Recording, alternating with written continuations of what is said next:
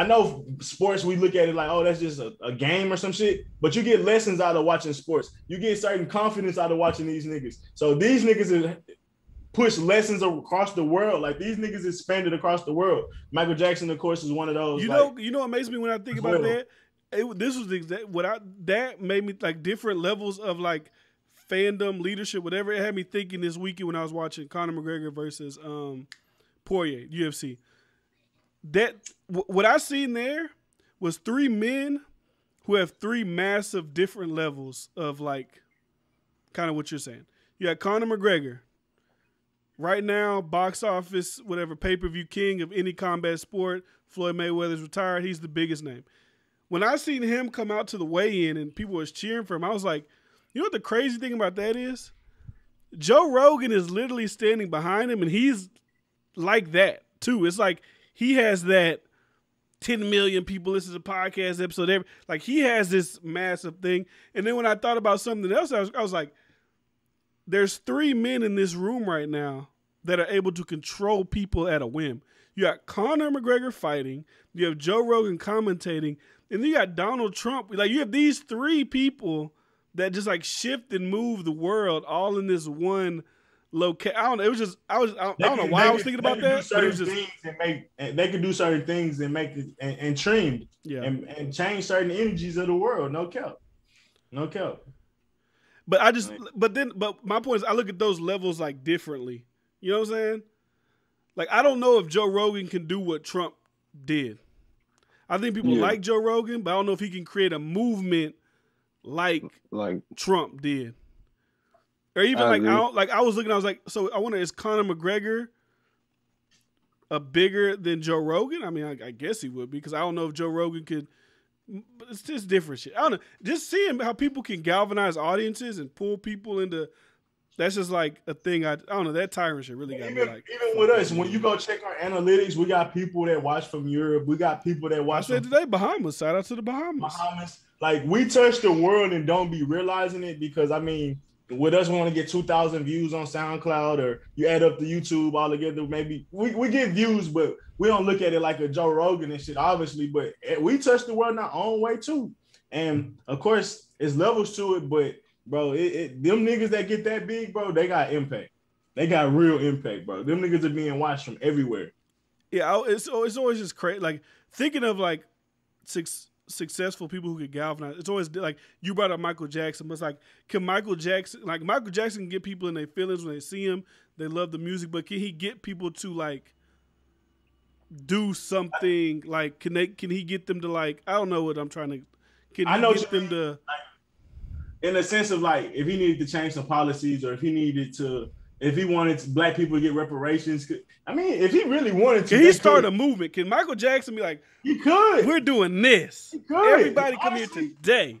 if they made the right moves like when he got the beatles catalog or if cosby whether he did it or didn't do it got the cbs shit. Them niggas could have made certain moves where yeah bro if they really kept on the track and didn't die or didn't get hold or stopped at the moves that they wanted to do, they would becoming even more powerful than just a, a singer. These niggas was making certain business moves to a point where they was gonna be able to co- control industries type shit. So yeah, I think I think yeah, they could have if they really had the time. If we we didn't have they to go against in a sense. But yeah, I, I think they could have, and even then, I think their impact was different on how they like brought their light to the world they were the artistic, bringing out soul, bringing out spirit, bringing out love, bringing out harmony. That's they type of shit. Then you got it's different lanes and shit, and everybody can create their own change and effects. But I think, like I say, them niggas with their artistic shit, bro, they did just as much change than I think that uh, a Hitler did.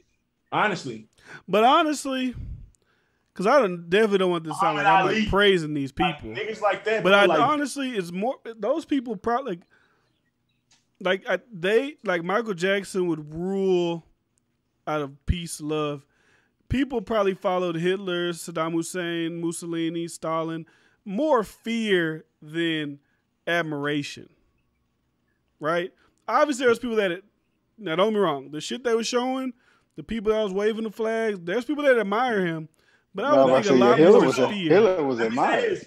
When you watch certain documentaries, A lot of these people had no idea what was going on. Just like the average American now don't know a lot of the corrupt shit that go on with America. So even with the uh, the Germans at the time, a lot of those people were just proud Germans and not really knowing the hypocrisy because, like we said, they had propaganda that they were displaying to even their people. So mm-hmm. we we say when I go back to Hitler had bitches and shit like that, jokingly, yeah, a lot of this, a lot of those people had no idea how corrupt those people were. So yeah, that's one thing I can say.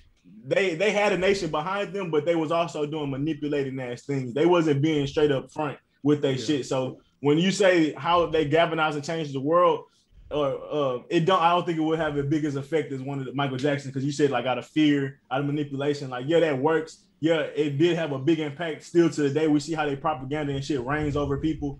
But it only works like, for so long until somebody could clip you.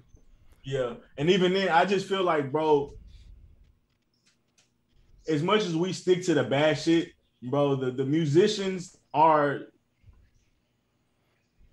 like the ones that really get big, like a Michael Jackson. We could see how everybody resonated with him because his music was so beautiful. His music was so touching to everybody. Like so that like how everybody made him big show you like the real essence of the world in a sense because nobody can get that big unless they doing some shit like him in a sense. Like he did it, and he was damn near the biggest.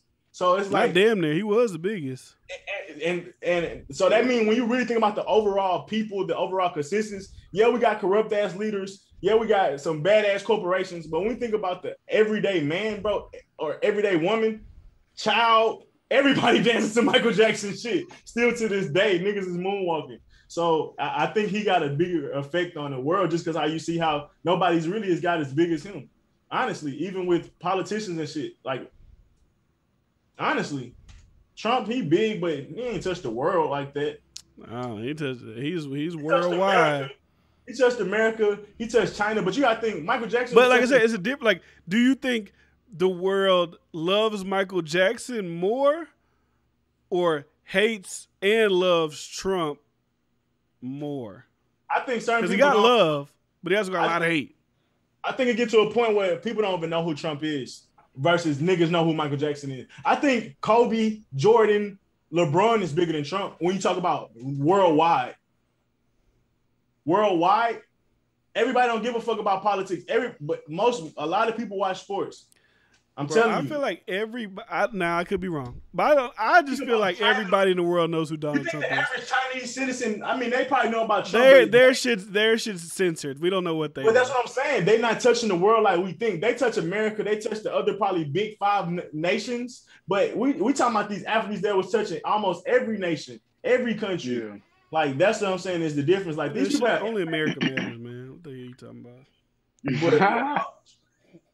Yeah, I don't think they as big, honestly, bro. I think of Jordan, I think of LeBron, I think Kobe, um, Michael, shit.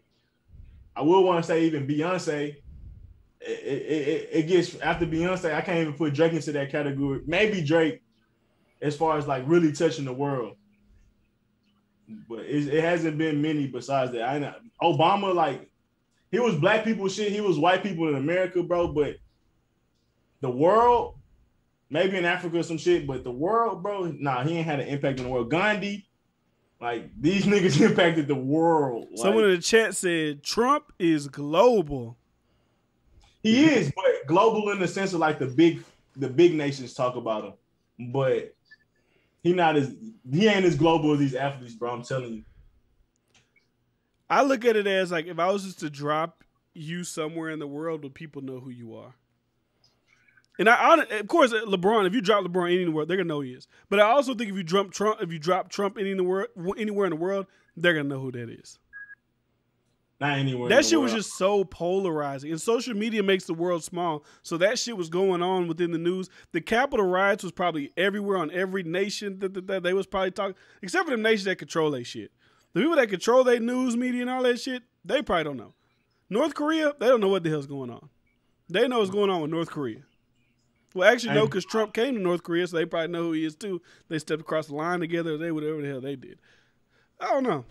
It's just how like shit happened in Britain and, and other South American countries. We hear about it, but bro, it don't be that big. It be bigger in America because that's our news, bro. But that shit, that that ain't affecting the everyday citizen in other countries, bro. I'm like, it's just not like. I couldn't tell you. I could. I, I probably couldn't tell you the last thing about that happened some shit in China. But I'm sure like maybe a white person could, but the average day citizen, they don't be keeping up with that shit. Just like the average Chinese citizen wouldn't keep up with our politics.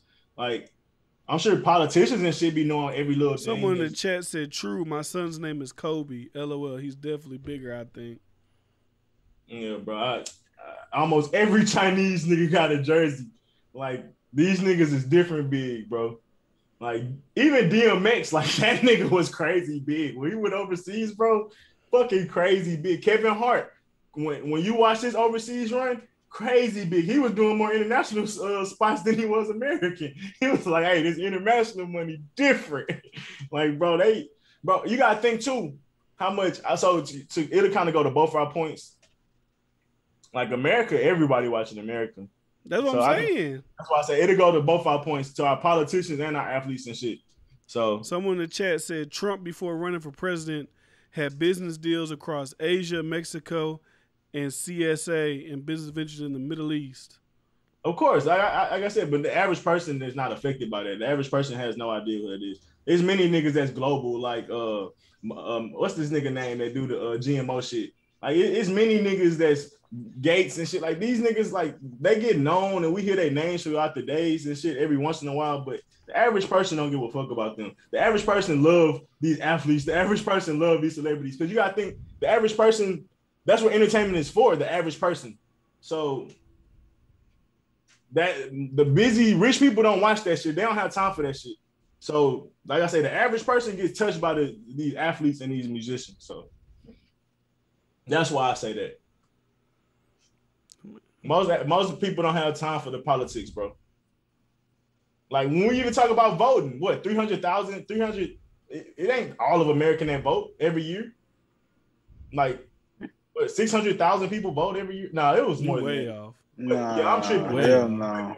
But it's not. It's maybe I'm trying to think of a percentage or something. But the, millions, millions, and millions. But how many people in America?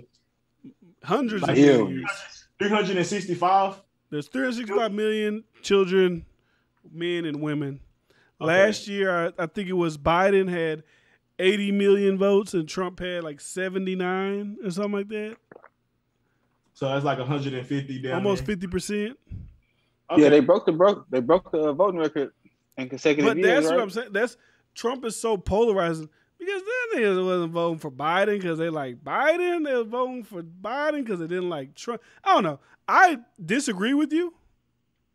I think Trump is like a global because I feel like he's more celebrity than like this political president thing. He was a president, but I think like just the Trump brand memes, this, that, all over the world. I feel like everybody all over the world. He's on that level with these people. I feel like he's on the level with Jordan. He's on the level with Kobe. He's on the level with LeBron. I feel that way, but nah, nah, nah. No politician, no politician. Period. Trump changed media, I, bro. I know you say America, but like them, they know. They British know. British people know. I, eh, you go to Africa. I guarantee you, a lot of Africans. They know. They know if you I'm got social media, if you got social media, this is the difference of what I'm trying to argue. They may know about him, but the impact that he has on My only point not, is knowing people.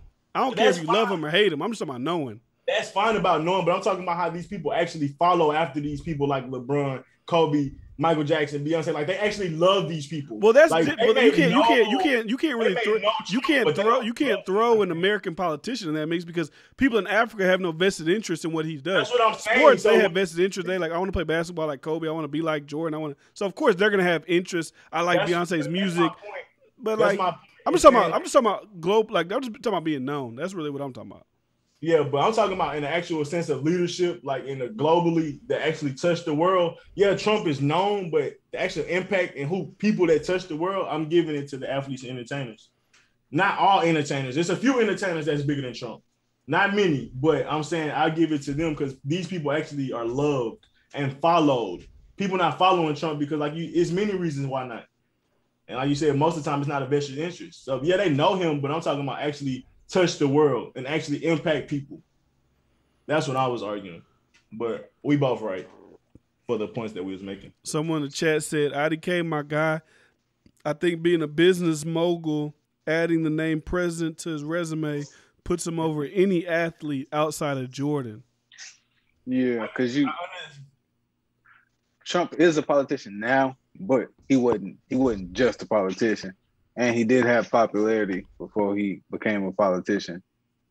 I understand that in the business world and in the politic world and governments and and, and the people that makes money, but people that's the average day person, he's not. They're not. They're not checking for Trump like that. They I get you. Like I don't think Trump's bigger than Ronaldo. I don't think Trump's bigger than exactly. Messi. I don't think he's exactly. bigger than these people on a global Thank scale. You, Thank you for hitting. Thank you. Those are perfect names. Exactly. That's what I'm talking about. Like so, those people are massively loved, massively loved. Versus Trump is massively known. So and yeah, he has impact in the business world. And yeah, he may be he may have more power than these people, but I'm talking about most people don't know that. And like I said, yeah, we got the corrupt shit that go on in the city, but we talking about the average day person. I think have more love in their heart, have uh inspired for better things in life, and that's why certain athletes inspire that, and certain musicians inspire that, and that's why people follow them more than Trump. And most people don't give a fuck about politics because they already know what politics.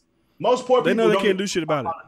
Exactly, especially we, in other countries. They they're like we can't even really like we don't. They even, they even more realistic about how corrupt they shit is than so, we are.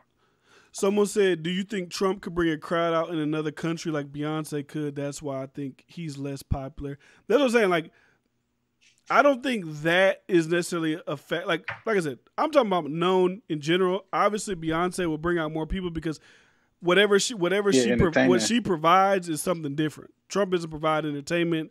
He's America. He's this. He's that. But I can say this: in America, if I think he would. Let me see. Let me try to figure out what I'm trying to say.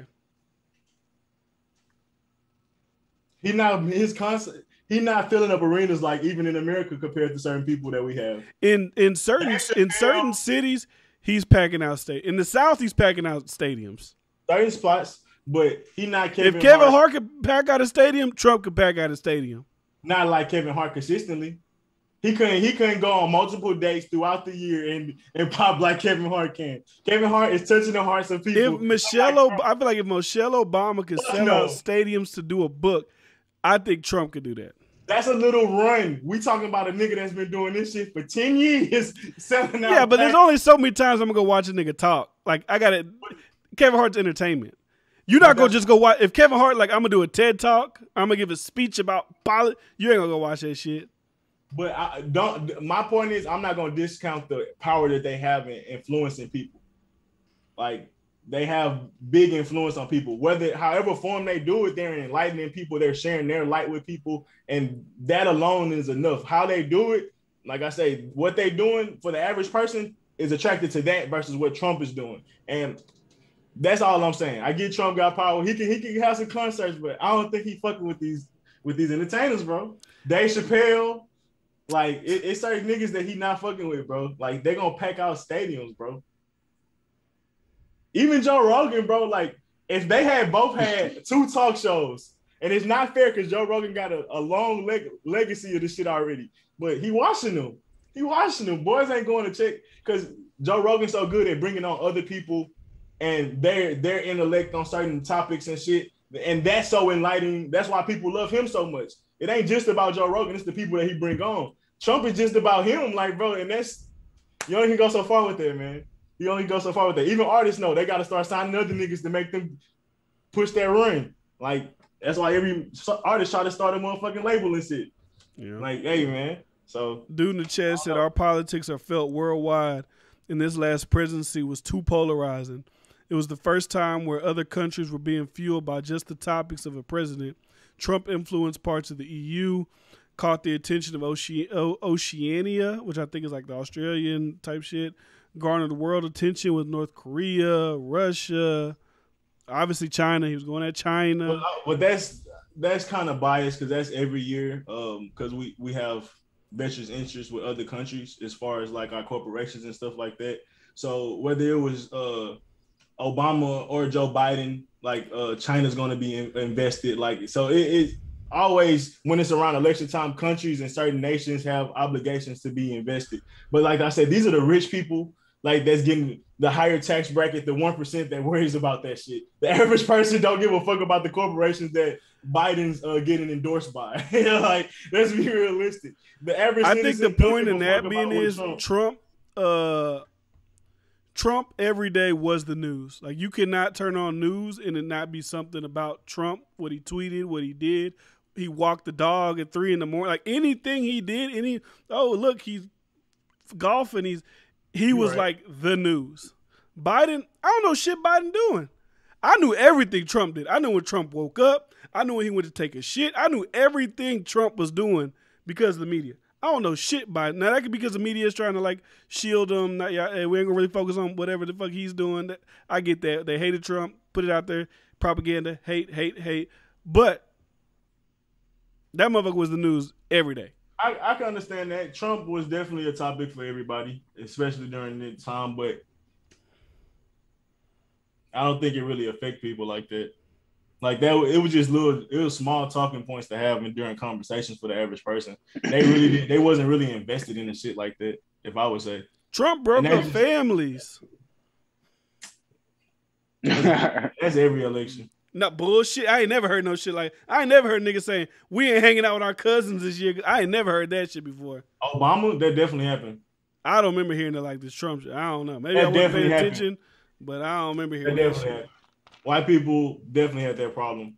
That's because Obama won because so many white people voted for them, and that was a problem with people.